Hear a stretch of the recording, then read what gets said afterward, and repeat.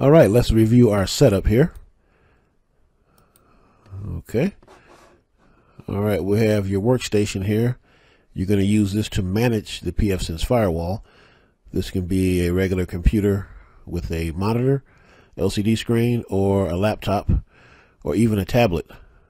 But if it's a tablet, you won't have a cable, most likely to be wireless.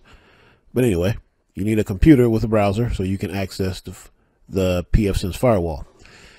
Your workstation using a patch cable is going to plug into your Ethernet switch. This can be a small 5 port switch, 8 port switch, 24 port switch, doesn't matter, as long as it's a working Ethernet switch. From the switch, you're going to go with the patch panel into the LAN of the pfSense firewall. Now I know what you're thinking. How can I tell LAN from WAN? We'll show you that when we do the installation. The other cable is going to go from the WAN into your ISP's router or modem. So this is the physical connections. All right.